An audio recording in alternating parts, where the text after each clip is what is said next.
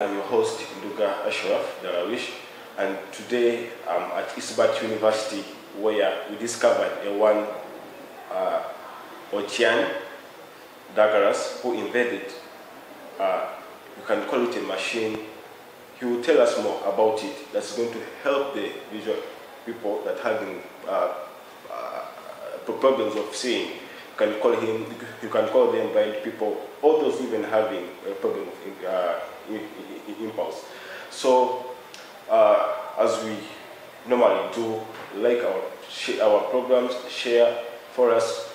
Also, those who feel like they would like to connect with us, kindly leave your message on our email at successstrategiesafrica at gmail.com. We shall come to you. Uh, those who are willing to collaborate with us in business, those who are looking for mentorship, those who are looking for invest, uh, invest, investment collaborations, any kind of a business in this world and Africa at large. Uh, let me give this chance to our guest today. He will tell us more what's coming. So welcome, sir. Thank you, uh, Mr. I, it's a pleasure being here. Uh, to start with, I am the developer of EYEborets, the device that you see me wear. Uh, it's a device that's going to revolutionize how the blind people or how the visually impaired people uh, live, study, and work in our communities. Uh, I am also the, the developer of uh, the Kasuubo X series of helicopters, the very first helicopters to be made in Uganda. And my very first uh, helicopter was made and flew in uh, made and flown in my S6 vacation here in Kampala, Uganda. I'm also a developer of leased electric uh, vehicles that have the potential of beating any electric uh, vehicle right now on the market. Uh, our cars will go miles and miles without ever being recharged again. The secret behind is a top company, Secret. But anyway, above all today, the topic is the EYEborets. The device that I'm putting on is called EYEborets, and it's a topic that we have today. It's really very wonderful, and if I told you uh, to do research, I am sure over 1 million people in the, uh, in the world also have problems of blindness. So if you come up with such uh, innovation, you have called it an iBro. EYEborets. EYEborets. So can you tell us more? What is it? Why, uh, and why did you come up with this? To dive into this device, allow me to first start uh, by thanking my base, which is the Isbat University where I am uh, uh, almost where I'm graduating uh, with a bachelor's degree in artificial intelligence this very year, and I'm in my final two months of the of the course.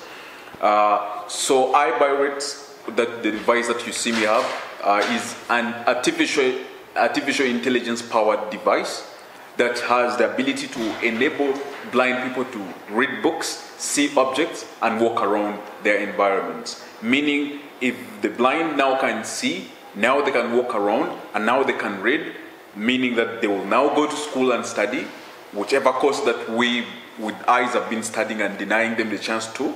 Now they can study these uh, courses, and they, with the ability to to, to, to recognize objects and, and still have the uh, independence, mean they can now work uh, like we've all done, like you do, Mr. Ashraf.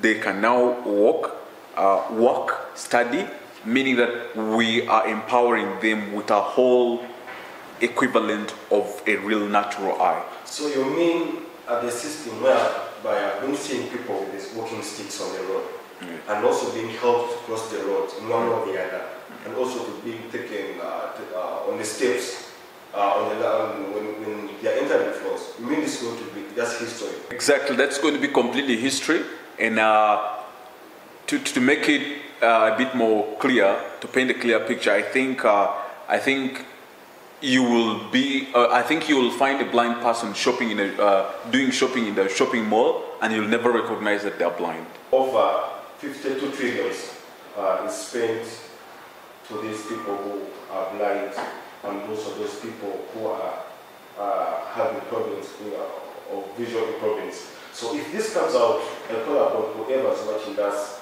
uh, to come and intervene in one or the other, how we can at least help. And this may save a lot of money for people if 1. If 14.3 billion is spent uh, on people who have problems in seeing, who are totally blind, I think this will be a solution uh, by a young So Douglas, can you tell me what uh, motivated you to come up with this? Do you have a relative who's blind? Uh, do you have someone who has problems in, in visual problems? What, what motivated you to come up with this? Uh, the, the story, the motivation comes from very far. Uh, to start with, I, I have grown up with an elder brother who has visual problem. So he has real difficulties finding objects like, uh, starting from the afternoon, he will have to really struggle to find objects around him.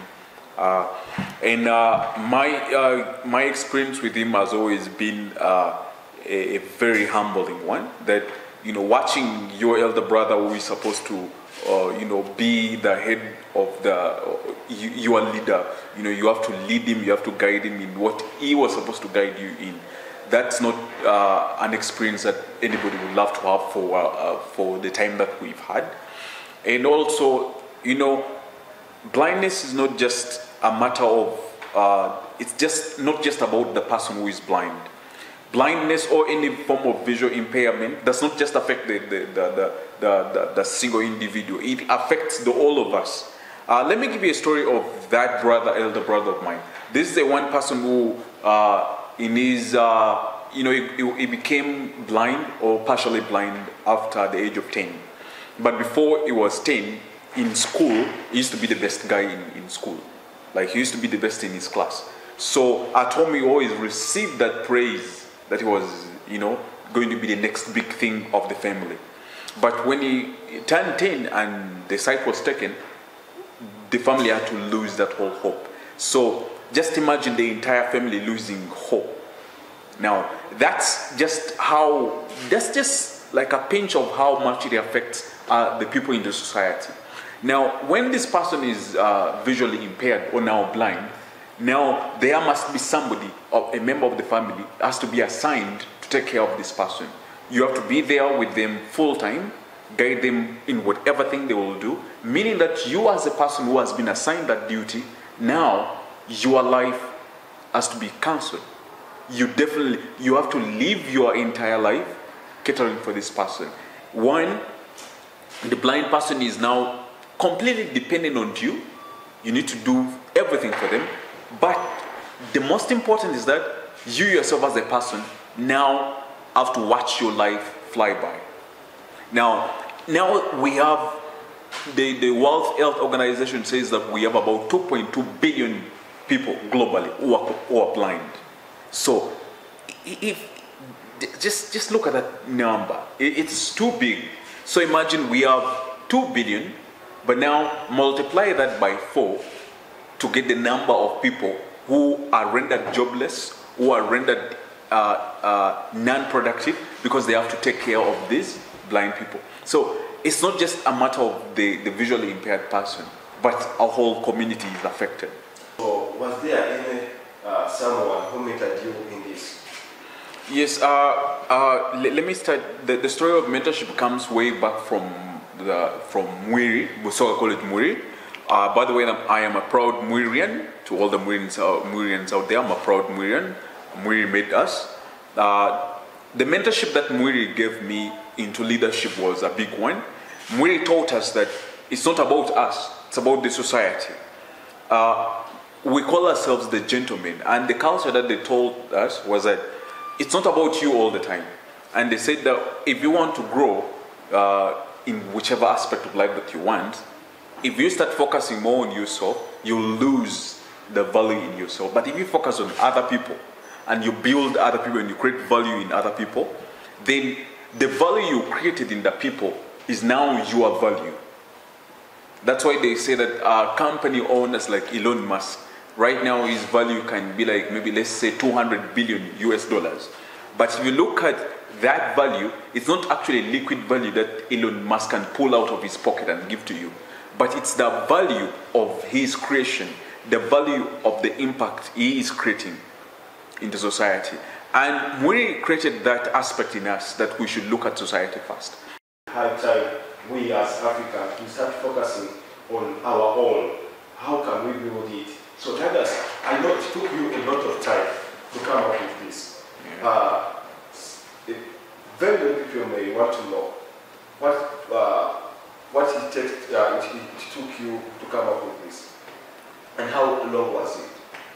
Yes, uh, it's not been that smooth sail. It's not. It's not an easy thing, but still, we want to, you know, thank Isbat University for providing this course in uh, specific, in specific, in, in specific that AI, artificial intelligence and machine learning, is here at Isbat, and it's been a powerful tool. Without AI, probably wouldn't have this. So, but uh, the production, the development stage was not that easy. Uh, it's been a year now. It's been a year now in the, in the making. Uh, the, develop, the inception stage to the prototyping stage was about eight months, starting from 2021. Yes, so we did it, we made it, came out, and then we had it last year, and uh, we had to stop for a while as we, we did some more researching. But yes, uh, roughly about a year now. Talk about the costs, Yeah. but uh, do you think if at all there's someone at least to help you and come up with more of that, and also someone who can support you one or the other? Because very many people are seeing you through our of Success Strategies Africa. Would you welcome this? Yeah, I think I'm very open to uh, assistance, and we we have to be frankly uh, bold enough and you know open, honest, and say that yes, right now we need serious financial assistance. Like you can see, uh, the device right now, you can see the size. Uh, it's not where we want to be. This is not our vision. Our vision is a well precise uh, and uh, a very small uh, device so that the weight is minimum and we want comfort from the users and we want to build in uh, a good lasting battery so that maybe they can use it for a whole day before they can recharge. If we can hit two days before the next recharge, that's a good thing. But this is not our vision. This is not where we want to be. Uh, right now, I can say that we're using very rudimentary uh, technologies to, to, to make, for example, the casing. This is made using local in-home uh, plastic molding. I think it would be better if we had like a 3D printer. So yes, uh, a good call out would be for somebody to help us buy the 3D printer. And also the, the printing of the board inside. This board is not where we want to be. This board is uh, limited in capacity. Its processing, its RAM is only 512 MBs. But our vision is to have it run in real time with about maybe 4 GB of RAM. That requires that we have our custom board. And for us to develop and print these custom boards, we really need money. So I would call out to anybody out there who would love to support us. We are open to seed funding. Please do support uh, us. These are local innovations that are seeking to solve local challenges, and we hope to, to help not just Ugandans, but to expand to East Africa, cover the African continent, and also go out there. Because the, the challenge of blindness is not just about Ugandans, they are uh, blind people globally, they are visually impaired people globally. So if we are solving uh, a problem, we're not just going to be selfish and say we're going to solve Ugandan problem only. We want to solve the whole thing. You have heard it from the horse's mouth, you know, uh, the inventor of the eye, Ibro. Uh, he has a vision of helping the world, at least to come to the reality. Those who have been problems of impaired, uh, totally blind, at least to live a normal life. I'm very sure, uh, according to the research experts on disability say technology uh, these solutions uh, has a long way to go, not, not only in terms of details, but also in integration. So I think as Success Strategies Africa, uh, whoever is watching us, Uganda, USA, uh, German, I know we have very many people that we are collaborating with us. He is a young, intelligent man. In his introduction, he just stated some of the things that he has come up with. But if at all we come up and we, uh, we say it's now high time uh, to focus on Douglas. I think this can also be a worldwide uh, solution to to, the people who are having such a problems of seeing. Uh, Douglas, have you ever been there and regret of giving up in, on your dream? Yeah, there are many times because I, EYEborets is not the first one. Uh, EYEborets is just one of them, like I made mention. EYEborets is one. The Kasuubo X helicopters is one. And last year we had a huge challenge. Our hangar where we keep the helicopters was attacked by some ill-intended people who cut cut the helicopter. And now, because me being a student and then the money we used in all the process was generated from home, and now the home says, hey, we, we were out of, money for, for that. Maybe you look for somebody else. And watching the helicopter stay there unattended to for all these whiles just because I can't have some money, it's not. It's more than painful. And uh, then we have also LIZ uh, the electric cars that we started on, and we had to leave it halfway after proving the concept working, and then we have to leave it halfway there. So it's it's a huge pain to, to, you know when you have the vision and you, have this constraint that just cannot let you reach the goal. It's a huge one. So once again, it's, a, it's an opportunity that I would love to use to call out on uh, the people watching us from wherever they are. Uh, please, your assistance is highly welcomed, and we will really be uh, grateful to, to you know have your assistance and have these innovations come to life. That's one may want to know uh, how this works because uh, you know imaginations is very uh, it's very difficult to explain because yeah. if someone's putting on uh, that gadget of yours uh, that you think that's going to help very many people uh, live in a normal life and in your in your statement said it will be very hard one to tell that that person is blind if at all reach to, to the goals that you, we want. Mm-hmm. Uh, can you explain more about uh, the gadget? Yes, yes. So EYEborets is uh, like you see.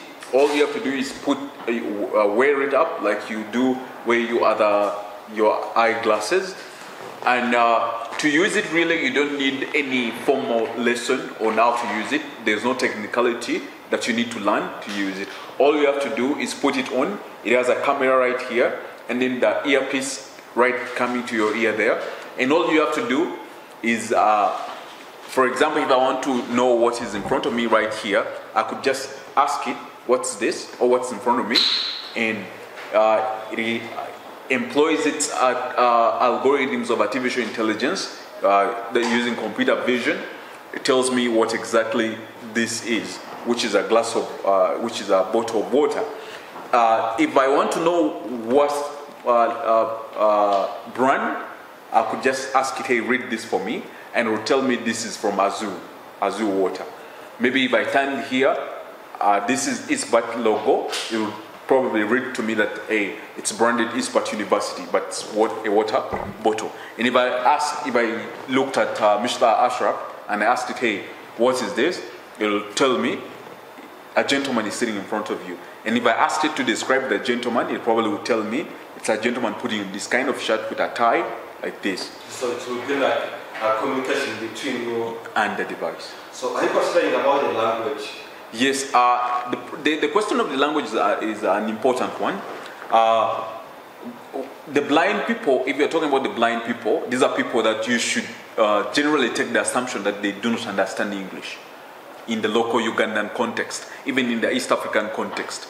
Uh, you shouldn't assume that they know English. So we are in the process of integrating Luganda into this device. So the device will actually use the local languages. So the first one we're starting with is Luganda. Then we are going to uh, the Luo languages so that the Luo societies can also use it. And then the next language will be Kiswahili for the East Af- for the other East African uh, colleagues of ours. So right now we're doing the language compilation to make this device able to understand uh, Luganda, Kiswahili, and Luo. And by the way, this device, uh, you don't need to connect to any, any network to use it. All the language synthesis happens offline right here. All the recognition and identification happen completely offline. And the other, maybe the other aspect I forgot is that with uh, even to read a newspaper or to read any book, I just have to tell you, hey, read for me this. And I just have to pick the device, uh, the, the, the paper, and hold it just like any normal person and have it read. It does not, you don't need data anywhere in this device.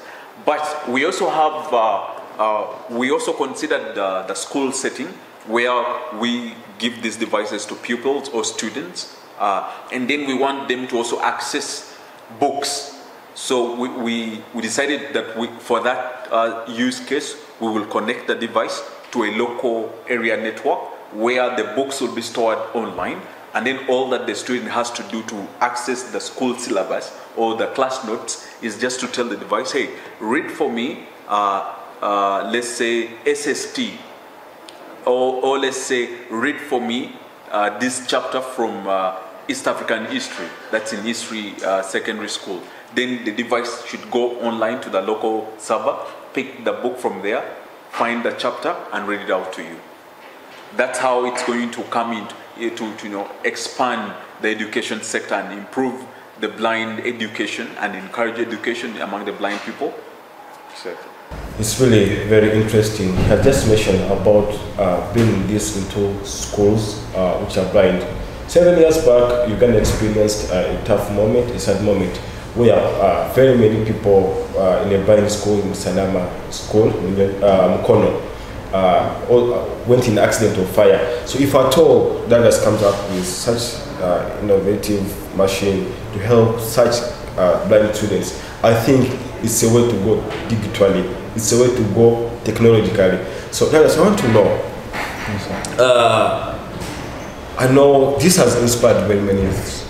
And how can youth today, uh, according to you, people who have interacted, uh, how can they, who are, who are watching us through our channels, Success Strategies Africa, uh, prepare themselves for success? I think that uh, the, the idea of success should come from, uh, people should adopt it from a very early stage, yeah? That uh, I, I, think that before we talk to the, to the individual uh, youths out there, we should take it as the role of the society at large. I think society has a huge role to play in uh, encouraging youth into technological field, into innovation. Because first of all, it's important to notice that the environment in which you live has a huge influence in what you become or who you become. Uh, you know, society has a huge role in expanding our imagination. So a positive society that encourages the, the, the, the, youth to, to, to, you know, go out wild and imagine and, and, and, and you know, construct and create is, is going to be a, a good society for the youth to develop. Secondly, now it comes down to you as an individual youth. It's very important to seek out skills. I would implore all the youth out there, don't sit where you are. Don't be comfortable when you don't have the skills. You, you, you must have cross, you know, skills that cross, cut across all the fields. Don't be limited to just uh, maybe metal fabrication skills or electrical engineering skills or plumbing. Even the soft skills, even the skills of addressing people is very important. So as a, as a youth, I think it's very important for you to be hungry to learn. As you wind up our uh, program today, what are you grateful for today? Uh, first of all, uh, I am very grateful that ISBAT gave us this opportunity uh, to be here. Uh, not everybody has gotten the opportunity to be here at ISBAT. And you've had people cry about uh, expired courses. None of our courses here at ISBAT is expired. Uh, ISBAT does research constantly to make sure that our courses are improved every after two semesters. And actually, me now I'm in semester six, but the, the things that people studying artificial intel- intelligence in first semester are doing are completely new to me. So it's always, you know, an update after update. So I'm grateful to ISBAT for having us here, and also uh, then Success Strategies Africa, the biggest hand in influencing the society. I think I am very grateful to Success Strategies Africa. It's such a huge opportunity, and I know that we are reaching a whole, uh, you know, an explosive audience. And I know that from this uh, publication that you're doing will come a lot of things. uh, collaborations, business opportunities, and you know all the amazing opportunities. And uh, I'm very grateful to you and your entire team. And finally, for God for uh, allowing us to be here today. Uh, is watching us, continue subscribing, continue sharing Success Strategies Africa, continue to share. Very many people are watching us from different countries. Uh, those who do it's your first time to watch us, just go to Success Strategies Africa uh, on Facebook, LinkedIn. We are at Isbat University with Douglas uh, Onechan. Or uh, he has a lot for us, but I think if it's uh, if at all we embrace him, as we say, uh, I think this is a solution for the people who have been uh, problem of uh, impaired, also those who are totally blind. So now it's high time to also try to make these people's dream because one of the, our Success Strategies Africa is to make people's dream come true. So however much you can start with small, uh, when you look into Africa worldwide, uh, it's very easy to start, but finishing is sometimes a problem. And when it comes to technology, we really need a lot of help and your support. Uh, according to what he has said. So, Douglas, as, as we wind up, uh, one may want to know yes, sir. how do you handle your day most so because for us don't look at only the innovations but also look at someone who's focused on his dreams uh, how is your morning my my days are kind of structured in a good way that uh, you know favors me uh, I have school and innovation so uh, here at campus, I come, I think, uh, three days a week, which is a good thing for me to focus on the innovation, uh, innovations that I do. So I think that's, uh, yeah, that's basically it. That's basically it. Uh, I would like to touch and feel uh, the EYEborets so that I really also have that opportunity. You may never know, at least one day, one time in history, I may not be there at least as the camera guy will be have captured those moments. Uh, one day, one time, if I tell it my, I can uh, have a look on it if at all it is possible. And Sweden also needs only a little uh, innovations that we can support his dreams to come true. I'm also, I call upon whoever is watching us, I tell you, uh, lack of sponsorship can stop such developments. If at all you not aware of this. I repeat, lack of sponsorship can stop such development in that, uh, however, very many people may come out, but he is a focused man. Uh, it's not my first time meeting him, and it's not uh, my first time seeing him. I've seen him, I've been following him, Douglas. So I'm really appreciative. Your last words as we go. Uh, my very last words. Uh, first of all, I'll tell the world that this device has the potential to revolutionize how the blind people will work, live, and integrate in our society. Secondly, uh, to make that possible, to make this dream come to them, we need support, and that should be our very honest call out that we need support to get this out there. And there's no any other way we can get it out there unless we have the support. Thank you so much for having me, Mr. Ashraf. And uh, I call upon our viewers, audience from all, all over the world. This is an opportunity for them to, you know, have a solution given down the line. At Success Strategies Africa, we say you only fail when you quit. I'm really impressed by Douglas, who is a focused man. He has come over very many innovations, but he is no, no, uh, really focused on the society. I also take this opportunity to thank the University of Isbat uh, such young, intelligent people, embracing them, giving them knowledge more on how can they and how can they bring their dreams true. Uh, I sign up by requesting each and everybody, uh, please like, share, comment. We also have services at Success Strategies Africa, uh, the business collaborations, mentorship, uh, business coaching, mindset changing, investment consultants. I don't wait, uh, only opportunities come for those who are prepared.